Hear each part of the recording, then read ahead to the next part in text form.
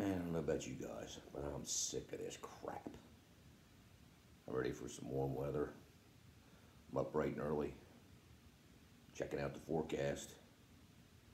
Been up since 4:30. Uh, fairly close to being one of those rotten people that give up their senior dogs just because they're a pain in the neck.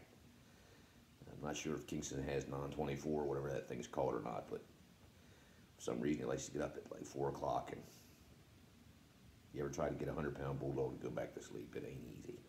Anyway, I'm checking things out. Been up since about 4, 4.15. Uh, definitely better hunker down, folks. Looks like we're going to get some wind. Uh, snow, I'm still on borderline with that. I mean, I know they got a warning out, which means it's a pretty good chance we're going to get it. Watch means might. Warning means you're gonna. Uh, looking at the radar, looks like it's it's still fairly close to us being on that rain snow line. Um, so I'm gonna go with some wet snow. Looks like maybe if we get anything significant, it'd be more into Wednesday.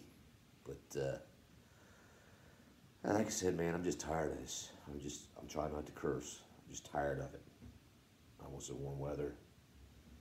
Springtime's coming, and to have uh, daffodils. Oh, the other thing is, wind's gonna blow more leaves, more leaves in my yard, uh, more branches to throw away. It's just this is just getting ridiculous.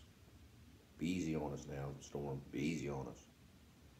Everybody else hunker down and have a wonderful Tuesday.